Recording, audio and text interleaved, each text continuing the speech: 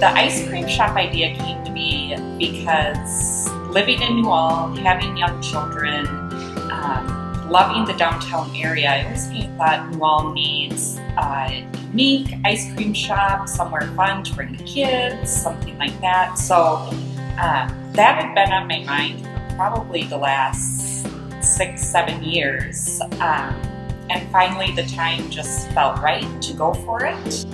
I ended up crossing paths with a couple in Waconia, um, basically by chance. They had already purchased a building in New with the intent of opening an ice cream shop.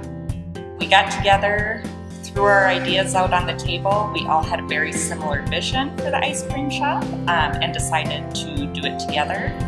They brought a lot of business experience, and then I was someone local who wanted to be here and learn all about how to run a business. So it was a really good fit for everybody.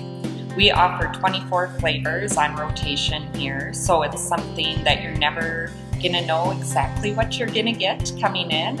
Besides the ice cream, uh, we have our candy varieties. Uh, we have 30 different scoop bins of candy.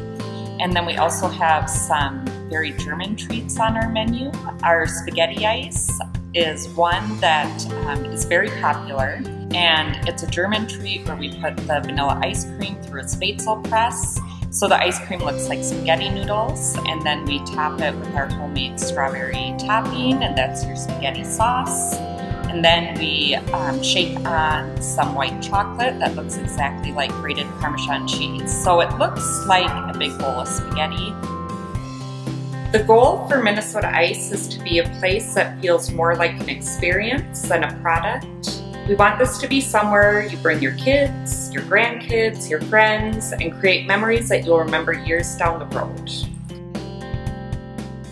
After working with Citizens Bank for my own personal banking needs, I was very adamant about going through Citizens for business lending purposes. My experience has always been positive, and the people working at Citizens have always gone above and beyond to help and support my dreams.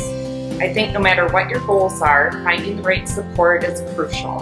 I was able to find that through my amazing business partners in Waconia and through Julie over at the Business Lending Department at Citizens, and I'm very grateful for all of them. Thanks to all who made Minnesota Ice a reality. We look forward to serving you for years and years to come.